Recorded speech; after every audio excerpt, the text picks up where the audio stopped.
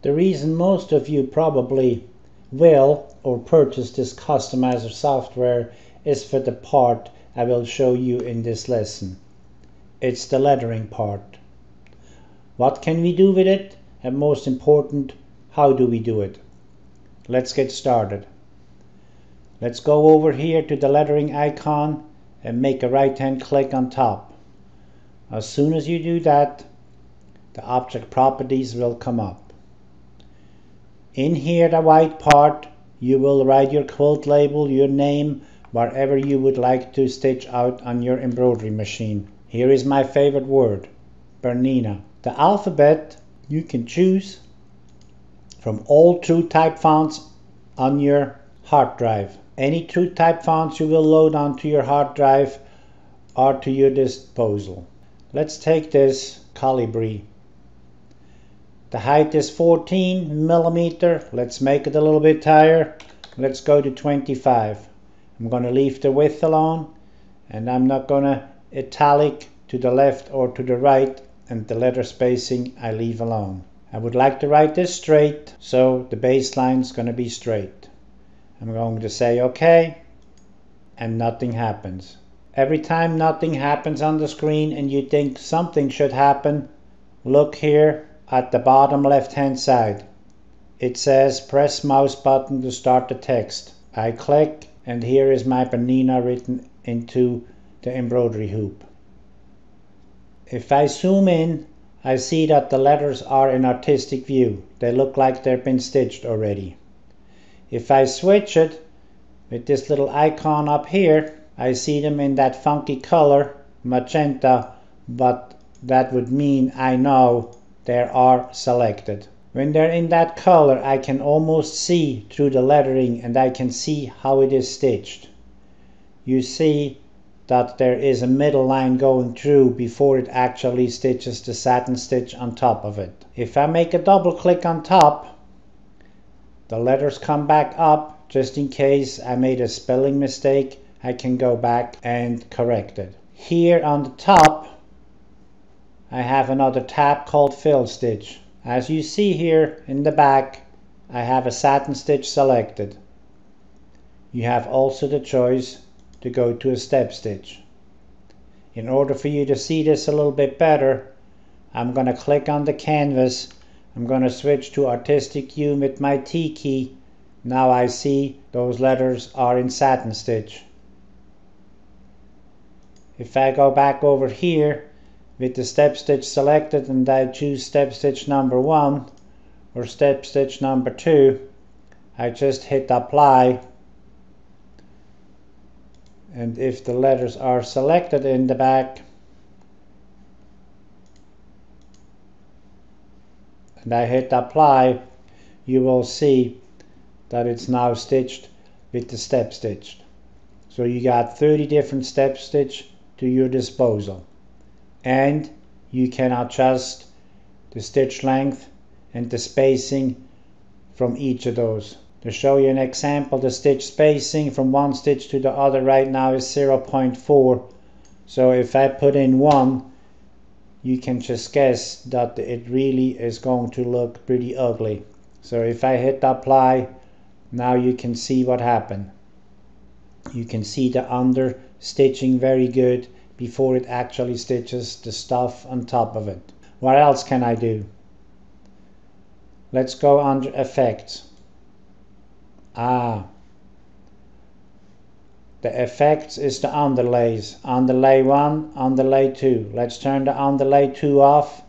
Let's watch over here what it's doing when I hit apply. Something came off as you can see.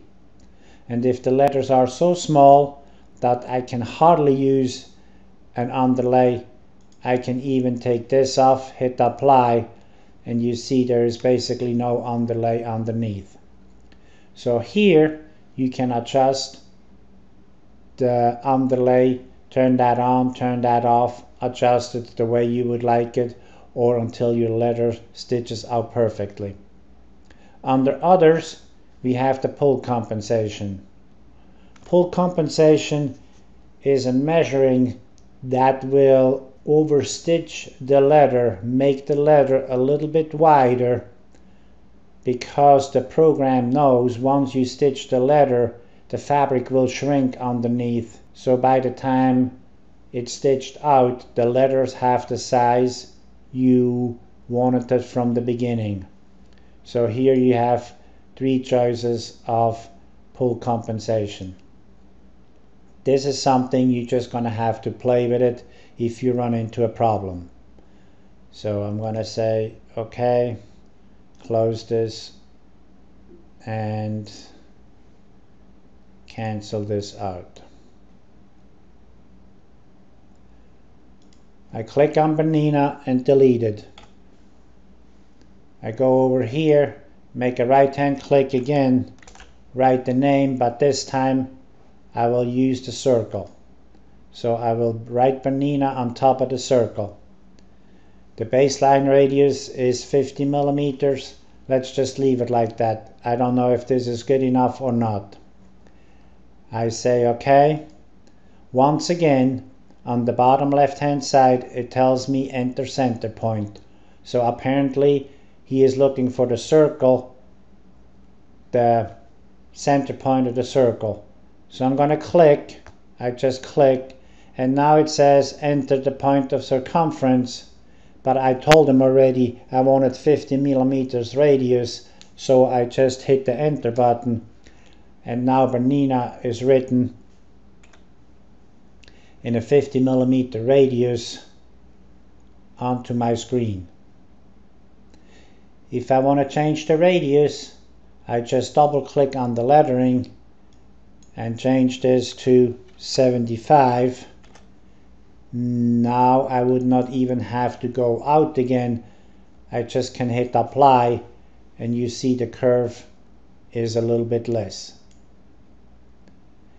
If you like the lettering to be stitched on the bottom right from here you could click on the last base radius and just hit apply and now the letters are written in the other way.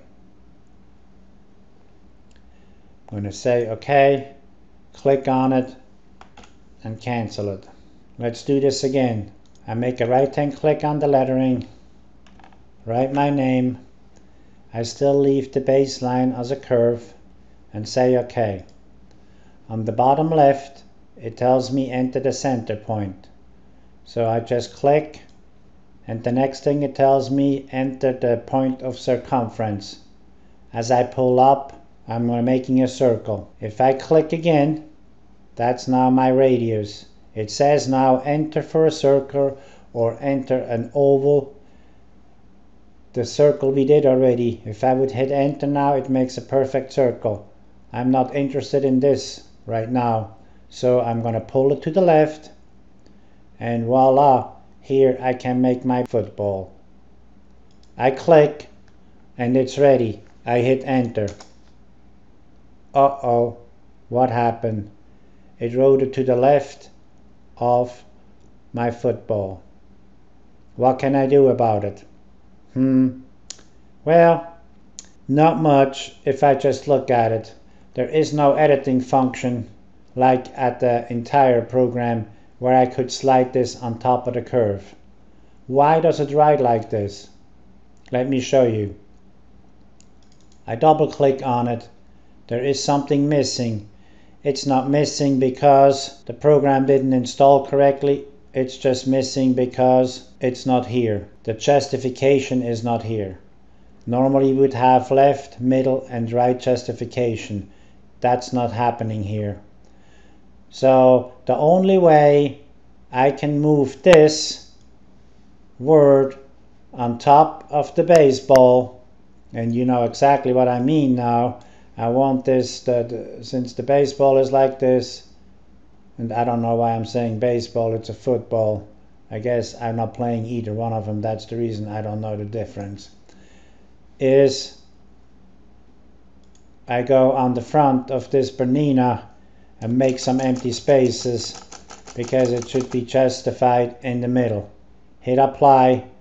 Aha. You see it's coming. Yep, maybe one more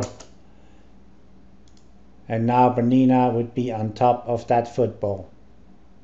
So you will not find this in the manual so you got to put those spaces in if you would like that slim curve on top of it or let's assume you are going to write another Bernina in front of it. So let's just uh, do that. I'm going to paste Bernina back in here. And let's have two of them and say apply. Now you see what I mean. They're going to go around the curve now. Let's go behind here. Let's make a space and write this two more times and hit apply and now you have Bernina on the top and on the bottom just like that so even though you're sort of restricted with the program you can see if you take the time and play a little bit, you will figure out a lot of things that maybe went missing, but you still can do it.